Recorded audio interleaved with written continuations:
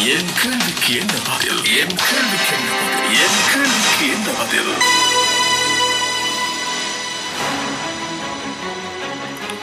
என் கேள்விக்கு என்ன பகுதியில் இன்றும் சந்திக்கின்றோம் இன்று மே மாதம் இருபத்தி எட்டாம் திகதி இப்போது நேரம் ஏழு ஐம்பத்தி மூன்றை கடக்கிறது. இன்றைய நாளிலும் எங்களோடு இணைந்து கொள்கின்றார் புத்த சாசன கலாசார மற்றும் சமய அலுவல்கள் அமைச்சுகளுடைய ஊடக செயலாளர் திரு. ஜே. யோகராஜ் அவர்கள் வணக்கம். வணக்கம் நவநீதன். வணக்கம். இந்த கொரோனா பற்றி நாங்கள் பேச வேண்டியதாக இருக்கிறது. கொரோனா தொற்றாளர்களுடைய எண்ணிக்கை இனங்காணப்படுகின்ற எண்ணிக்கை சடுதியாக அதிகரித்திருக்கிறது. மார்ச் பதினோராம் தேதியிலிருந்து நாங்கள் நேற்று வரை பார்ப்போமேயானால் நேற்றுதான் இதுவரை இனங்காணப்பட்டவர்களில் மிக அதிகமானவர்கள் ஒரே நாளில் நூற்று ஐம்பது பேர் இனங்காணப்படுகிறார்கள் ஏன் இந்த நிலைமைக்கு என்ன காரணம்? இந்த நிலைமைக்கு உள்ளூர் உள்ளூரில் எந்த ஒரு காரணங்களும் இல்லை. உள்ளூர் என்று செல்லும் பொழுது இலங்கையில் இலங்கைக்குள் எந்த ஒரு காரணம் இல்லை. சமூக தொற்று இல்லை என்பதை வெளிப்படையாக அவ்வப்போது வலியுறுத்தி வருகிறார் சுகாதார சேவைகள் பணிப்பாளர் நாயகம் டாக்டர் அனில் ஜாசிங்க. அதாவது நீங்க சொல்கின்றீர்கள் அந்த நாடு வளமைக்கு திருப்பப்பட்டது ஊரடங்கு அகற்றப்பட்டது இது எதுவுமே காரணம் அல்ல இல்ல இல்லை. இதற்கு வேறு காரணங்கள் இருக்கின்றன. அதாவது வெளிநாடுகளிலே நாங்கள் நேற்றைய தினம் இந்த விடயம் பற்றி பேசினோம். ஆனால் ஆழமாக பேச வேண்டியிருக்கிறது. வெளிநாடுகளிலே கைவிடப்பட்ட நிலையில் விமான நிலையங்களில் கூட கைவிடப்பட்ட நிலையில் பல இளைஞர்கள் இருக்கிறார்கள். அதற்கு என்ன காரணம் என்றால் நாடுகளிலே வேலை பார்த்து கொண்டு வந்த இளைஞர்களுக்கு வேலை இல்லாமல் போய்விட்டது. அப்படியானால் அவர்கள் அங்கு இருப்பதிலே எந்த ஒரு அர்த்தமும் இல்லை. ஏனென்றால் அவர்களுக்கு சில நாடுகள் நிவாரண நிதி வழங்குவதில்லை. அப்படியானால் அவர்களுடைய வீட்டில் இருந்து கொண்டு அவர்களுடைய செலவை செலவை கவனிக்க வேண்டிய ஒரு கட்டாயம் இருக்கு. அப்படி செலவை கவனிப்பதற்கு அவர்களிடம் கைகளில் சல்லி காசு இல்லை பணம் இல்லை. அப்படி இருக்கும் பொழுது அவர்கள் விமான நிலையத்தினூடாக தங்களுடைய தாய்நாடு திரும்ப வேண்டிய ஒரு நிலை இருக்கிறது. ஆனால் தா- விமான நிலையத்துக்கு வந்தவுடன் அங்கேயே கைவிடப்பட்ட நிலையில் பல இளைஞர்கள் இருக்கார்கள். அப்படியானவர்கள் இப்பொழுது மெல்ல மெல்ல மெல்ல இலங்கைக்கு கொண்டு வரப்படுகிறார்கள். அது அதுதான் நடக்கிறது. ஆனால் கொண்டு வரப்படும் பொழுது அவர்களுடைய உடலிலே கொரோனா தொற்று இருக்கிறதா இல்லையா என்ற ஒரு நிலையில் தான் அவர்கள் வருகிறார்கள். இங்கு வந்தவுடன் அவர்கள் பிசிஆர் டெஸ்ட் நடத்தப்படுது அவர்கள் இளைஞர்களாகவே கருதப்படுகிறார்கள். அங்கிருந்து அங்கிருந்து வெளிக்கிடும் போதும் புறப்படும் போதும் பிசிஆர் செய்யப்பட்ட பிறகுதான் இங்கே அனுப்பப்படுகிறார் என்று சொல்லப்படுகிறது. அதில் எந்த அளவு உண்மை இருக்கிறது? அந்த- அந்த- தகவல் தெளிவில்லை நவநீதன். அந்த தகவல் தெளிவில்லை. ஏனென்றால் பிசிஆர் டெஸ்ட் செய்வதற்கு நான்கரை மணி நேரம் செல்லும். ஒரு டெஸ்ட் செய்து அதன் அதன் மூலமாக வருகின்ற தகவல்கள் அல்லது அதனுடைய அதனுடைய பிரதிபலன்கள் அல்லது முடிவுகள் வருவதற்கு நான்கரை மணி நேரம் செல்லும். எனவே நாங்கள் அந்த அந்த அந்த தகவல் தெளிவு இல்லாத ஒரு தகவல். சிலர் சொல்லுவார்கள் அங்கு நடந்திருக்கிறது. சிலர் சொல்லுவார்கள் அது நடக்கவில்லை என்று. எப்படி இருந்தாலும் இலங்கைக்கு வந்தவுடன் அவர்களுக்கு பிசிஆர் டெஸ்ட் நடத்தப்படுகிறது. இதுவரை முப்பத்தி இரண்டாயிரத்தி ஐநூறுக்கும் அதிகமானவர்களுக்கு பிசிஆர் டெஸ்ட் நடத்தப்பட்டிருக்கிறது. அதிலே இனம் காணப்பட்டவர்கள் நீங்கள் சொன்னது மாதிரி ஆயிரத்தி நானூற்று அறுபத்தி ஒன்பது அது அப்படி பார்க்கும் பொழுது ஒரு வீதம் கூட அல்ல. சரி நாங்கள் இந்த இந்த வருகை தந்தவர்கள் கூடுதலானவர்களுக்கு இந்த தொற்று இருப்பது அடையாளம் காணப்பட்டிருக்கிறது. அது தவிர நாங்கள் ஏற்கனவே குறிப்பிட்டது போல அந்த கடற்படை முகாம்களிலே பரவி வந்த அந்த கொரோனா தொற்று இன்னும் அந்த நிலை இருக்கிற சில இடங்களிலே அந்த அந்த நிலைகளும் இப்பொழுது அடையாளம் காணப்பட்டு கொண்டு வருகிறது.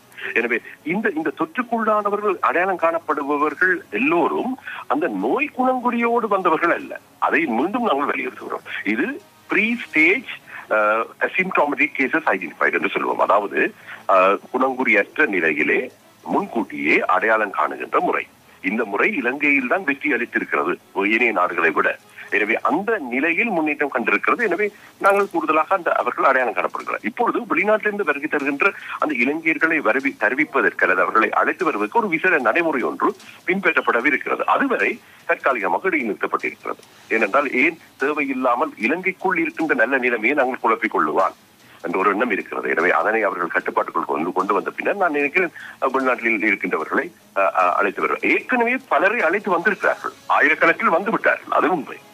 அவர்கள் தனிமைப்படுத்தல் நிலையங்களுக்கு சென்றிருக்கிறார்கள். அதன் ஊடாக அந்த தனிமைப்படுத்தல் நிலையங்களுக்கு சென்று பிசிஆர் டெஸ்ட் நடத்தப்படுகிறது. அதான் உண்மை. அந்த அந்த அதிலே அவர்கள் குணம் கூறியுள்ளவர்கள் என்று தெரிய வந்தால் நிச்சயமாக அவர்கள் அந்த மற்றைய மற்றைய குழுவுக்கு மாற்றப்படுவார்கள். இந்த குழு? அதாவது அந்த சிகிச்சை பெற்றுக் கொண்டு வருகின்றவர்கள் வைத்தியசாலையிலே சிகிச்சை பெற்றுக் கொண்டு வருகின்றவர்கள் குழுவுக்கு மாற்றப்படுவார் அது ஐடிஎஸ்சில் இருக்கிறது அங்குடையில் இருக்கிறது முள்ளேரியாவில் இருக்கிறது நாட்டின் வேறு சில ஆதார வைத்தியசாலைகளிலும் இருக்கிறது அந்த நிலையங்கள். அந்த நிலையங்கள் ஸ்தாபிக்கப்படுகின்றன. அதனூடாக சிகிச்சை பெற்று வருகிறார். அதுதான் உண்மை. கொரோனா தொற்று என்ற ஒன்று இலங்கையில் மாத்திரமல்ல உலகம் முழுவதிலும் ஆதிக்கம் செலுத்திக் கொண்டிருக்கின்ற ஒன்று. நாங்கள் இலங்கை என்று எடுத்து பார்ப்போமே ஆனால் திரு யோகராஜ் அவர்களே. இந்த கொரோனா தொற்றாளர்கள் என்று கருதப்படக்கூடியவர்களை நேரடியாக நெருங்குகின்றவர்கள் என்று ஒரு தரப்பு இருக்கிறது. ஒன்று சுகாதாரத்துறையினர். மற்றையது இந்த ராணுவம் அஹ், போலீசார் போன்றவர்கள். இது தவிர சுகாதாரத்துறையினுடைய அனைத்து தரப்பினர் மருத்துவர்களாக இருக்கட்டும் ஏனைய துறை ஏனைய பணியாளர்களாக இருக்கட்டும் யாராக இருந்தாலும் சரி. இப்போ ஊடகத்துறை ஊடகத்துறையினராக நாங்களும் இதில் மறைமுகமாக பங்களிப்பு செலுத்துகிறோம். ஆனால் செய்திகளை செய்திகளாக அறிவிப்பது இவை போன்று நாங்களும் கிட்ட நெருங்குவது கிடையாது. தூர இருந்து தான் செய்திகளை வழங்குகிறோம். உங்களை போன்ற அதிகாரிகள் கூட அநேகமாக நெருங்குவதற்கான வாய்ப்புகள் இல்லை. ஆனால் நேரடியாக முகம் கொடுக்கின்ற களத்தில் இறங்கி அவர்களை தமது கட்டுப்பாட்டுக்குள் கொண்டு வருகின்ற அல்லது தனிமைப்படுத்தல் முகாம்களுக்கு அழைத்து செல்வதற்காக முற்படுகின்ற சுகாதாரத்துறையினர் பாதுகாப்பு துறையினருக்கான பாதுகாப்பு சரிவர செய்து கொடுக்கப்படாமை காரணமாகத்தான் அவர்களுள் தொற்று ஏற்படுகிறது. என்ற ஒரு குற்றச்சாட்டு கடந்த காலங்களில் சில பலரால் சுட்டிக்காட்டப்பட்டது. இவற்றுக்கு தற்போது தீர்வு ஏற்பட்டிருக்கிறதா? சரி நான் உங்களுடைய முதல் கேள்விக்கு பதில் தருகிறேன். முதலாவது இந்த இந்த கொரோனா தொற்று தொடர்பான தகவலாக இருக்கட்டும் சரி அரசாங்கத்தின் சில முக்கிய தகவல்களாக இருக்கட்டும் சரி இவை வழங்கப்படுவதற்கு அது இவற்றை வழங்குவதற்கு சில முக்கிய நிறுவனங்கள் அல்லது சொல்வார்கள் முகவர் நிலையங்கள் இருக்கின்றன. அதில் ஒன்று தகவல் ஊடகத்துறை அமைச்சின் கீழ் இயங்குகின்ற இலங்கை தகவல் அரசாங்க தகவல் திணைக்களம். அரசாங்க தகவல் திணைக்களத்தின் பணிப்பாளர் நாயகம் ஒருவர் இருக்கிறார். அவர் மூலமாக அவருடைய கை சாத்துடன் அல்லது அவருடைய கையெழுத்துடன் ஒரு ஒரு கையொப்பத்துடன் ஒரு ஒரு கடிதம் வெளியாகும். அதனை முழுமையாக ஏற்றுக்கொள்ளலாம். ஏனென்றால் அவர்களை சொல்வார்கள் நாங்கள் அதனை முழுமையாக ஏற்றுக்கொள்கிறோம். இந்த கடிதத்தில் சொல்லப்பட்டபடி நாங்கள் அந்த செய்திகளை நாங்கள் பெ- பிரசுரிக்கிறோம் கடமையோடு பொறுப்போடு நாங்கள் பிரசுரிக்கிறோம் இதனை நீங்கள் ஏற்றுக்கொள்ளலாம் என்று பொதுமக்களுக்கு அறிவிக்கிறார்கள். அது ஒன்று. ஜனாதிபதி செயலகத்தின் மூலம் அறிவி வெளியிடப்படுகின்ற ஒரு கை அஹ், ஒரு ஒரு கடிதம். அது ஜனாதிபதி ஜனாதிபதியின் செயலாளர்.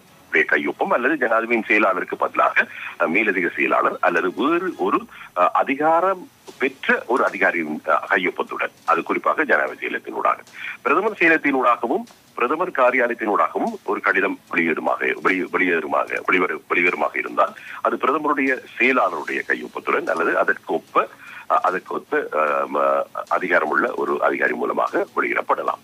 இவை ஒன்று. அது தவிர அஹ், உரிய அமைச்சினூடாக உரிய. இப்பொழுது நாங்கள் ஒரு விடயம். இப்பொழுது சொன்னோம் அஹ், நாங்கள் புத்த சாசனம். பொசோன் தினம் தொடர்பான ஒரு ஒரு ஒரு ஒரு அறிவித்தல் வெளியாகிறது. அல்லது விசாக் தினம் தொடர்பான அறிவித்தல் வெளியாகிறது. அப்படியான உரிய அமைச்சினூடாக அமைச்சின் செயலாளருடைய கையொப்பத்துடன் அது ஊடக செயலாளருடைய அவருடைய உள்ளடங்களாக என்ற ஊடக செயலாளர் ஊடகங்களுக்கு அறிவிக்கும் பொழுது ஊடக செயலாளருடைய பங்களிப்பு அங்கு வருகிறது. அப்படியான ஒரு கையொப்பத்துடன் வெளியாகின்ற அந்த கடிதம் அந்த அமைச்சுக்குரிய செய்தியாக ஏற்றுக்கொள்ளப்படும். இவைதான் இந்த சாதாரணமான செய்தி மூலங்கள். அதே போன்று புதிதாக ஆரம்பிக்கப்பட்டது ஜனவரி மாதத்திலேயே ஆரம்பிக்கப்பட்ட ஒரு விடயம் கோவிட் நைன்டீன் அதாவது கொரோனா தொற்றை தடுப்பதற்கான தேசிய வேலைத்திட்ட செயலணி. அந்த செயலணியின் தலைவராக ராணுவ தளபதி லெப்டினன்ட் ஜெனரல் சவேந்திர சில்வா செயல்படுகிறார். எனவே அந்த செயலணிக்குள்ளும் சுகாதாரத்துறையினர் இருந்தார்கள் அவர்களுடைய அந்த அந்த அந்த செயலணிக்கூடாக ஒரு அதிகாரம் பெற்ற அதிகாரியினூடாக கையொப்பத்துடன் ஒரு கடிதம் வெளியாகும். அது ஏற்றுக்கொள்ளக்கூடிய வாய்ப்பு இருக்கிறது. அதுவும் ஏற்றுக்கொள்ளப்படும் மக்கள் மத்தியிலே. அது முழு பொறுப்போடு அவர்கள் செயல் செயல்படுகிறார். அதே போன்று சுகாதார சேவைகள் பணி பலனாயிரம் இப்பொழுது கொரோனா தொற்று தொடர்பான விடயங்கள் நிச்சயமாக கூடுதலான அறிக்கைகள் கொரோனா தொற்று தொடர்பான அறிக்கைகள் சுகாதாரத்துறை பணிப்பாளர் நாயகம் டாக்டர் அனில் ஜாசிங்க மூலமாகவே வெளியிடப்படுகிறது. எனவே அது முழுமையாக மக்கள் நம்பக்கூடிய மிகவும் நூற்றுக்கு நூறு வீதமான ஒரு துல்லியமான தகவலாக கடிதமாக அமைந்திருக்கிறது. ஏனைய நிறுவனங்கள் இந்த சுகாதாரத்துறையினரை மேற்கோள் காட்டி அவர்கள் எழுது- எழுதுவார்கள் கடிதத்திலே. அது அதுவும் ஏற்றுக்கொள்ளக்கூடிய ஒரு விடயம். அதுதான். அப்போ எங்களுக்கு மேற்கோள் காட்டுவதற்கு என்னென்ன நிறுவனங்கள் இருக்கின்றன என்பதையும் நான் இப்பொழுது சுட்டிக்காட்டினேன். சரி நாங்கள் இனி உங்களுடைய விடயத்துக்கு வருகிறோம். அதாவது இரண்டாவது கேள்வி. அதாவது நீங்கள் கேட்ட கேள்வி சொல்ல முடியுமா நவநீதன்? என்னென்றால் யோகராஜ் அவர்களே நேரடியாக கொரோனா தொற்றாளர்களை நெருங்குகின்ற சுகாதாரத்துறையினர் பாதுகாப்பு துறையினர் இவர்களுக்கான பாதுகாப்பு சரிவர செய்து கொடுக்கப்படாத காரணத்தினால்தான் கடற்படையினருக்கு இந்த தொற்று ஏற்பட்டது. இனி மருத்துவர்களுக்கும் அது ஏற்பட போகிறது. வெளிநாடுகளில் இவ்வாறான துறை சார்ந்தவர்களுக்கு வழங்கப்பட்டிருக்கின்ற உடை முதல் அனைத்துமே பாதுகாப்பு கருத்தில் கொண்டவை. ஆனால் இலங்கையில் அதுபோன்ற பல வழங்க வழங்கப்படாமல் இருந்தன என்ற குற்றச்சாட்டுகள் ஆரம்பத்தில் முன்வைக்கப்பட்டன. இந்த கடற்படையினர் இனங்காணப்பட்டதை அடுத்து. இப்போது இவற்றுக்கு எப்படியான நடவடிக்கைகள் எடுக்கப்பட்டிருக்கின்றன? நவனிதன் நாங்கள் நீங்கள் ஏன் நான் இந்த கேள்வி மீளச் சொல்ல சொல்லி கேட்டேன் என்றால் என்னுடைய அந்த கேள்வி மனதில் இருந்தது ஆனால் அந்த கேட்டுக்கொண்டு கேட்டுக்கொண்டிருக்கிற நேர்களுக்கு மீளவும் அந்த கேள்வி வெளியான பிறகு பதில் வரும் பொழுது அது உடனடியாக பதில் வரும் வருவது போன்று இருக்கும். அவர்களுக்கு அது ஞாபகத்தில் இருக்கும் என்று நான் நம்புகிறேன். இப்பொழுது உலகிலே எந்த ஒரு நாட்டிலும் கொரோனா தொற்றுக்குள்ளான நாட்டிலே இப்பொழுது பாருங்கள் அமெரிக்காவில் இன்று அவர்களுடைய உயிர் இழப்புகள் ஒரு லட்சத்தை தாண்டி இருக்கு. அப்படியானால் அப்ப உயிரிழப்புகள் மட்டுமே ஒரு லட்சத்தை தாண்டி இருக்கிறது. அவர்களுக்கு பதினாறு லட்சத்துக்கும் அதிகமானவர்கள் கொரோனா தொற்றுக்குள்ளாகி இருக்கிறார்கள். அந்த தொற்றுக்குள்ளானவர்களிலே பல விஞ்ஞானிகள் இருக்கிறார்கள் ஆராய்ச்சியாளர்கள் இருக்கிறார்கள். ஆனால் இந்த கொரோனா தொற்றை தடுக்கும் தடுப்பு நடவடிக்கைகளும் அந்தந்த நாடுகளால் மேற்கொள்ளப்படுகிறது. ஆனால் அந்த அந்த நடவடிக்கைகளிலே முப்படையினர் ஈடுபடுத்தப்படுவது அதுதான் இலங்கைக்கும் ஏனைய நாடுகளுக்கும் உள்ள வித்தியாசம். போலீசார் ஈடுபடுத்தப்படுகின்றனர் சுகாதாரத்துறையினர் ஈடுபடுத்தப்படுகின்றனர் ஆனால் முப்படையினர் ஈடுபடுத்தப்படுவதில்லை. இலங்கை அந்த முப்படையினருடைய பங்களிப்பையும் பெற்றுக் கொண்டது. அது இலங்கைக்கு கிடைத்த ஒரு வரப்பிரசாதம் அல்லது யோகம் என்றுதான் சொல்ல வேண்டும். ஏனென்றால் அதனால் பல நன்மைகள் கிடைத்திருக்கின்றன. மக்கள் அந்த கொரோனா தொற்றிலிருந்து விடுபட்டிருக்கின்றார்கள். அதனை பராமரிக்கின்ற நிலையங்கள் தனிமைப்படுத்தல் நிலையங்கள் எல்லாம் சிறந்த முறையிலே பராமரிக்கப்படுகின்றன. அப்படி செய்யும் பொழுது அந்த பாதுகாப்பு படையினரில் ஒரு சிலர் நீங்கள் சொன்னது போல் கடற்படை முகாமிலே ஒரு சில நாங்கள் எங்களுக்கு கிடைத்த தகவலின்படி கடற்படை முகாமைச் சேர்ந்த ஒரு சிலருக்கு அந்த தொற்று ஏற்பட்டது. உண்மை. இது தங் மக்களுக்கு சேவை செய்ய போய் ஏற்பட்ட ஒரு ஒரு தொற்று. எனவே அதனை கட்டுப்பாட்டுக்குள் கொண்டு வருவதற்கு ஏற்கனவே நடவடிக்கைகள் எடுக்கப்பட்டு விட்டன. எனவே அதனை நாங்கள் கவனத்தில் கொள்ள வேண்டும். அப்படியானால் அவர்களை அவர்களை அந்த நேரத்தில் விடுமுறையில் அனுப்பியது பிழை என்று கூட சில பலரால் சுட்டிக்காட்டப்பட்டது. விடு- விடுமுறையில் அனுப்பப்பட்டதால் கொரோனா தொற்று எடுத்துக்கொண்டு ஊர்களுக்கு சென்றார்கள். ஊரில் பரப்பியது அந்த கொரோனா தொற்று என்றெல்லாம் சில பல குற்றச்சாட்டுகள் எழுந்தன அந்த நேரத்தில். ஒரு விடயம் இருக்கிறது நவனே நான் இது வைத்திய அறிக்கைகள் மூலம் தெரிந்து கொண்ட ஒரு விடயம்.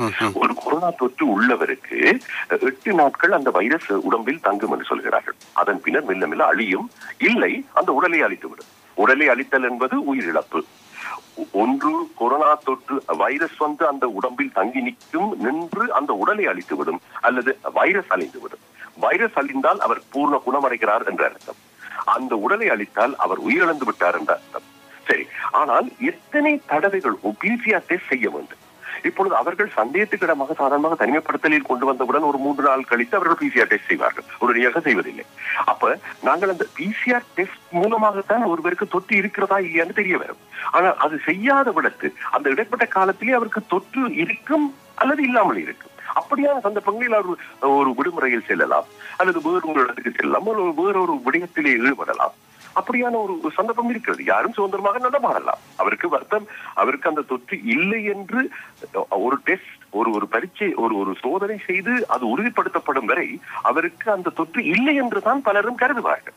ஏன்? அந்த குறிப்பிட்ட நபரே கருதுவார் தனக்கு இல்லை என்றுதான் கடற்படையில் கடற்படையில் சிலர் இடங்காணப்படுகின்ற நேரத்தில் பிசிஆர் பரிசோதனையை மேற்கொள்ளாமல் விடுமுறையில் அனுப்பினார்கள். விடுமுறை அனுப்ப விடுமுறையில் அனுப்ப வேண்டிய அவசியம் என்ன இருக்கிறது இந்த நேரத்தில்? அந்த அப்படியான வார்த்தை பிரயோகங்கள் பயன்படுத்தப்பட்டன. நீங்க நல்ல கேள்வி அது. அதாவது பிசிஆர் டெஸ்ட்ன்றதுக்கும் விடுமுறையில் அனுப்புவதற்கும் தொடர்பில்லை விடுமுறையில் அனுப்பப்படுவது அவர்களுடைய சாதாரண அந்த தொழில் தொழில் தொழில் பொறிமுறையிலே ஒரு அம்சம். ஒரு குறிப்பிட்ட குழுவினர் விடுமுறைக்கு அனுப்பப்படுவர் வேறு ஒரு குழுவினர் அங்கு வந்து அந்த வேலையை பார்ப்பர். அதன் பின்னர் அந்த குழுவினர் விடுமுறைக்கு அனுப்பப்படுவர் பிற வேறு ஒரு குழுவினர் அந்த இடத்தை பிரதியீடு செய்வர். இதுதான் பொறிமுறை. இந்த பொறிமுறைக்கும் பிசிஆர் டெஸ்டுக்கும் தொடர்பு எனவே சந்தேகத்துக்கிடமான பாக்கெட்ஸ் அல்லது அந்த இடங்களை தேடி சென்று அங்கு பிசிஆர் டெஸ்ட் செய்வதுதான் சகஜம். அல்லது அதுதான் வளமை. அந்த நிலை தொடர்ந்து நடைபெற்றுக் கொண்டுதான் இருக்கிறது. அதனால் தான் இந்த அளவுக்கு ஆயிரத்தி நானூற்றி அறுபத்தி ஒன்பது பேர் அடையாளம் காணப்பட்டிருக்கிறார்கள். அடையாளம் காணப்படுவதே எமது யோகம்.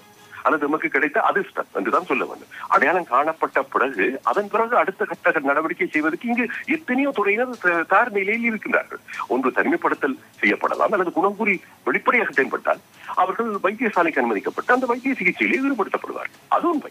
இப்படிதான் நடந்திருக்கிறது. ஆனால் இப்பொழுது அந்த அந்த இந்த கடற்படையிலே அந்த அந்த முகாமிலே தொற்று ஏற்பட்ட அந்த தொற்று உள்ளவர்கள் மெல்ல மெல்ல அடையாளம் காணப்பட்டு இப்பொழுது கிட்டத்தட்ட ஒரு ஒரு ஒரு முடிவு கட்டத்துக்கு வந்திருக்கிறது. அதாவது எல்லோரும் அந்த தொற்றுக்குள்ளானவர்கள் முழுமையாக அடையாளம் காணப்பட்டிருக்கிறது. ஏனென்றால் அந்த அந்த அந்த அந்த ஆய்வறிக்கை மிகவும் பரந்த ஒரு ஆய்வறிக்கை. அவர்கள் நன்கு எல்லாத்தையும் அடையாளம் காண்கிறார்கள். அந்த பாக்கெட்ஸை அடையாளம் கண்டு அவர்கள் அதனை கண்டு மெல்ல மெல்ல மெல்ல மெல்ல அந்த அந்த குறிப்பிட்ட உறுப்பினர்களை தனிமைப்படுத்துகிறார்கள். இது இது நல்ல ஒரு விடயம். இது நடந்து கொண்டிருக்கிறது. வேகமாகவும் நடந்து கொண்டிருக்கிறது. ஆனாலும் அந்த அந்த அந்த ஏற்கனவே தொற்றுக்குள்ளானவர் பதினான்கு நாட்கள் கழிந்த பின்னர் தான் அவர் குணமடைவார். அந்த நேரங்களுக்குள் அந்த தொற்றுக்குள்ளானவருக்கு இடையில் இடைப்பட்ட காலத்தில் பிசிஆர் டெஸ்ட் செய்யப்படும் பொழுது அவர் தொற்றுக்குள்ளானவர் என்றுதான் உறுதிப்படுத்தப்படும். ஆனால் அந்த தொற்றுக்குள்ளானவர் எத்தனை நாட்களை கடந்து விட்டார் என்பது அதிலே உறுதிப்படுத்தப்பட மாட்டார். அதான் உண்மை. இப்பொழுது பிசிஆர் டெஸ்ட் எடுக்கிறீங்க கொரோனா வைரஸ் அவருடைய உடலுக்குள் புகுந்து கிட்டத்தட்ட நான்கு நாட்கள் ஆகிவிட்டாலும் அஹ், கொரோனா பிசிஆர் டெஸ்ட் எடுத்தால் அப்போ அப்பொழுதும் அவர் தொற்றுக்குள்ளானவர் என்றால் அடையாளப்படுத்தப்படும். ஏழு நாட்கள் கடந்து விட்டாலும் அப்பொழுதும் அவர் கொரோனா தொற்றுக்குள்ளானவர் என்றுதான் அடையாளப்படுத்தும் எட்டு நாள் அதாவது அந்த தொற்று அந்த அந்த வைரஸ் அழிவதற்கு சற்று முன்னர் எடுத்திருந்தாலும் கூட அந்த வைரஸ் இவருடைய எதிர் உடலில் உள்ள எதிர்ப்பு சக்தி காரணமாக அந்த வைரஸ் அழிகின்ற நிலைக்கு வந்து விட்டது அப்ப அழிகின்ற நிலைக்கு வருவதற்கு சற்று முன்னர் எடுத்திருந்தாலும் பிசிஆர் டெஸ்ட் எடுத்திருந்தாலும் அவர் கொரோனா தொற்றுக்குள்ளானவர் என்றுதான் உறுதிப்படுத்தப்படும். இதுதான் உண்மை. இதுதான் உண்மை. இந்த நிலையை தான் இப்பொழுது எல்லோரும் புரிந்து கொள்ள வேண்டும். அதேவேளை கொரோனா தொற்று தொடர்பாக சில அச்ச நிலை இருப்பதற்கு காரணம் என்றால் நான் ஏற்கனவே நேற்று குறிப்பிட்டது போல சுவாசம் மூலமாகவும் மனிதன் மூலமாகவும் உடல் அசைவுகள் மூலமாகவும் உடல் உறுப்புகள் மூலமாகவும் அஹ், கேசத்தின் மூலமாகவும் நாங்கள் தொடுகை மூலமாகவும் தும்மல் மூலமாகவும் நமது உள்நீர் மூலமாகவும் பரவுகிறது. அந்த பரவல் தான் அவர்களுக்கு அச்சத்தை தூண்டுகிறதை ஒழிய அது ஒரு அச்சத்தை தருகின்ற உண்மையிலே அச்சத்தை தருகின்ற ஒரு பாரிய நோய் அல்ல என்பது பலர் புரிந்து கொள்ள வேண்டும். அது ஒன்று. அடுத்து நாங்கள் அந்த சொன்னம் அந்த ஊடகங்களுக்கு வாயிலாக இந்த செய்திகளை அந்த உத்தியோகபூர்வமான விடயங்களிலிருந்து நிலையங்களிலிருந்து பெற்று நாங்கள் அதனை வெளிப்படுத்த வேண்டும். அப்படி அப்படி வெளிப்படுத்த தவறுகிறார்கள் சிலர். சமூக வலைத்தளங்களில் தமக்கு தெரிந்தவாறு சில தகவல்களை போடுகிறார்கள். சில சில சில ஊடகங்களிலே தங்கள் பொறுப்பற்ற விதத்திலே சில தகவல்களை எதேச்சையாக சொல்லி சொல்லிவிடுகிறார்கள். அதற்கு மேற்கோள் காட்டுவதில்லை. நாங்கள் பிபிசியை மேற்கோள் காட்டுகிறோம். ஏன் சிஎன்என்ஐ மேற்கோள் காட்டுகிறோம். ஏனென்றால் அவர்கள் எல்லாம் நான்காண்டு காலமாக பல ஆண்டு காலமாக மக்கள் மத்தியிலே நம்பிக்கையை வளர்த்துக் கொண்ட ஒரு ஊடக நிலையம் எனவே அந்த மேற்கோள் காட்டுவதற்கு நாங்கள் அதிகாரபூர்வமான ஒரு நிலையத்தை மேற்கோள் காட்டியே ஆக வேண்டும் ஒரு தகவலை சொல்லும் பொழுது இத்தகைய இந்த கொரோனா பற்றிய தகவல் சொல்லும் முக்கியமாக இப்படியான தகவல் சொல்லும் பொழுது. எனவே நாங்கள் ஆதாரம் இல்லாத ஒரு தகவலை சொல்லும் பொழுது அது செய்தியாக மாறாது. அது ஒரு தனிப்பட்ட கருத்தாக தான் மாறும். கருத்துக்கள் பல இருக்கின்றன. இலங்கையிலே கருத்து சுதந்திரம் இருக்கிறது. எனவே போதிய அளவு கருத்துக்களை தெரிவிப்பார்கள். ஆனா போதிய பல கருத்துக்களை தெரிவிக்கின்ற ஒரு ஊடக நிறுவனம் நம்பிக்கைக்குரிய நிறுவனமாக மாறாது. அது உண்மை. நாங்கள் அதை நினைத்துக் கொள்வோம். கருத்துக்களை மட்டுமே தெரிவித்துக் கொண்டிருப்பவர்களை மக்கள் நம்ப மாட்டார்கள் காலப்போக்கில் என்றால் அவர்கள் கிராஸ் செக் பண்ணுவார்கள். அந்த அந்த அந்த அவருடைய கருத்தை வேறு நிறுவனங்களோடு ஒப்பிட்டு பார்ப்பார்கள். பார்க்கும் பொழுது உண்மை நிலை தெரிய வந்துவிடும். தெரிய வந்துவிடும். வந்தவுடன் இந்த ஊடக நிறுவனத்தை நம்புகின்றவர்கள். அந்த ஊடக நிறுவனத்தின் நம்பகத்தன்மை உண்மைத்தன்மை எல்லாம் அஹ், குறைந்துவிடும். இதுதான் உண்மை. எனவே இதனையும் புரிந்து கொள்ள வேண்டும். எனவே ஒருவர் ஒரு ஊடக நிறுவனம் செயல்படும் பொழுது கிட்டத்தட்ட ஒரு அறுபது வீதமாவது நாங்கள் செய்திகளை அனுப்ப வேண்டும் செய்தியை அனுப்பும் பொழுது ஆதாரமான தகவல்களை சேர்த்து ஆதாரமான தரவுகளை சேர்த்து அதனோடு சேர்ந்ததாக அந்த செய்தியை அனுப்ப வேண்டும். நாற்பது வீதம் கருத்துக்களை சொன்னால் பிழை இல்லை. கருத்தையும் செய்தியை நாங்கள் குழப்பிக் கொள்ளக்கூடாது. ஆனால் பலர் என்ன செய்கிறார்கள்? செய்தி என்ற போர்வையிலே கருத்துக்களை தெரிவிக்கிறார்கள்.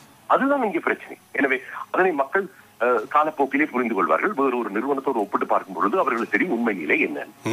இதனைத்தான் நாங்கள் இங்கே நாங்கள் குறித்து சொல்ல விரும்புகிறோம். இதனை நான் இதில் இந்த உங்களுடைய பதிலிலே நீங்கள் கேட்ட கேள்விக்கு பதிலிலே இதனையும் திணித்துக் கொண்டேன் என்றால் பொதுமக்களுக்கு இந்த விளக்கமும் அவசியம் என்று நான் நம்பினேன். அதனால் சொன்னேன். சரி. நன்றி திரு யோகராஜ் நன்றி தவறு நன்றி.